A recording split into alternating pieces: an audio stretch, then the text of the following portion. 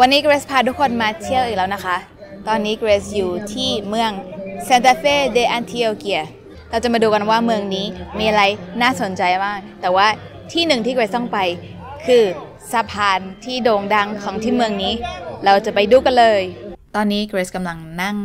รถตุ๊กๆ ไปที่สะพานซานตาเฟนะคะ ไม่ใช่แค่ที่ประเทศไทยนะคะ ที่มีรถตุกๆ ที่โคลอมเบียก็มีตุกๆเหมือนกัน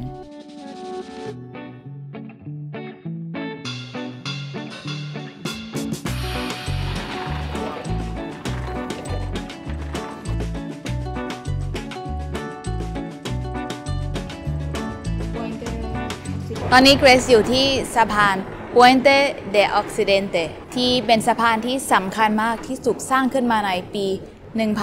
1888 แล้วก็เสร็จขบวนการสร้างในปี 1895 เป็นสะพานที่สำคัญมาก เพราะว่าช่วยให้รัฐแอนติโอเกียมีทางไปทะเล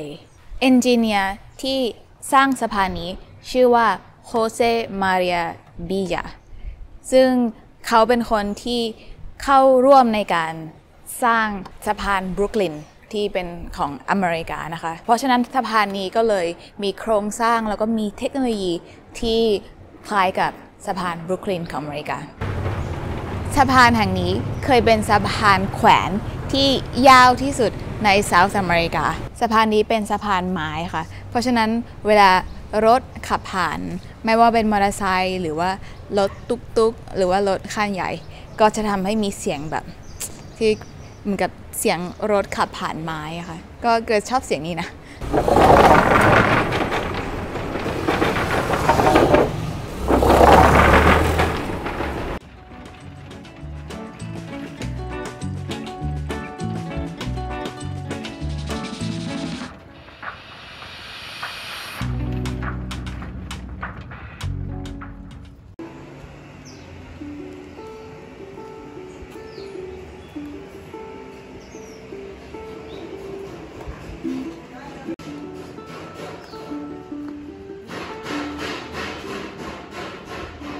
ที่เห็นอยู่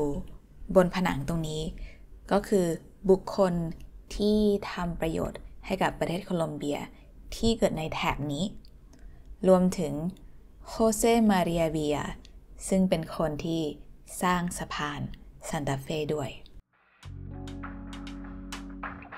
ต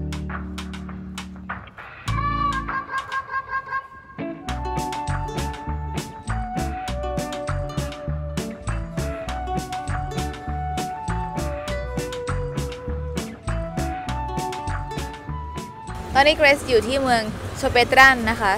เป็นเมืองที่ห่างจากซานตาเฟเดอันติโอเกียประมาณ 30 นาที นั่งรถแท็กซี่มาค่ะ เมืองนี้ก็เหมือนกับเมืองทั่วไปของโคลอมเบียก็คือว่าจะมีโบสถ์อยู่ตรงใจกลางเมือง แล้วก็มีเหมือนกับเป็นพลาซ่าอยู่ตรงกลาง แล้วก็มีน้ำพุอยู่ตรงกลาง เมืองนี้ก็โด่งดังในเรื่องของผลไม้ ที่จริงตอนนี้ช่วงนี้ไม่ใช่ช่วง หน้าผลไม้นะคะ ไม่ใช่ฤดูผลไม้ แต่ว่าก็เกรซได้กินผลไม้สองอย่าง ที่เกรซไม่เคยได้กินมาก่อน นี่คือผลไม้ที่อร่อยมาก ชื่อว่ามาเมยซึ่งเป็นผลไม้ที่เกรซไม่เคยกินที่ประเทศไทย มีรสชาติหวาน มัน ถ้าต้องอธิบาย ก็น่าจะเป็นเหมือนกับมะม่วงมันของประเทศไทย ที่ขายตามข้างถนนนะคะ Se llama zapote. Ese es zapote, sí. ถัดไปคือซาโปเตะซึ่งมีรสชาติอร่อยเหมือนกัน แต่ว่ากินยากนิดนึง เพราะว่าเม็ดใหญ่ค่ะ เหมือนกับดูดได้แต่น้ำแต่ว่าไม่สามารถกินได้ทั้งลูก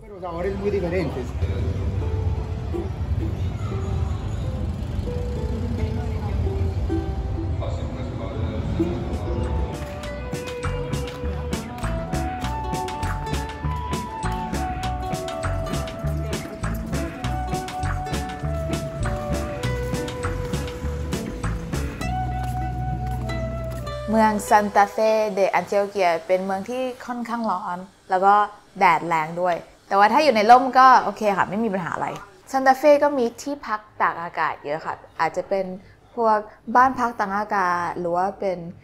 โรงแรมหรือว่าเป็นอพาร์ตเมนต์ที่มีสวนน้ำแล้วก็มีสไลเดอร์ซึ่งภาษาสเปนที่โคลอมเบีย เขาเรียกว่า tobogán ก็คล้ายๆกับที่ประเทศไทยมีสวนสยาม ที่บราซิลมีกาลาสโนเบสขอบคุณมากนะคะทุกคนที่ดูวิดีโอนี้ เราก็หวังว่าทุกคนจะเก่งภาษาไทยมากขึ้นจากวิดีโอนี้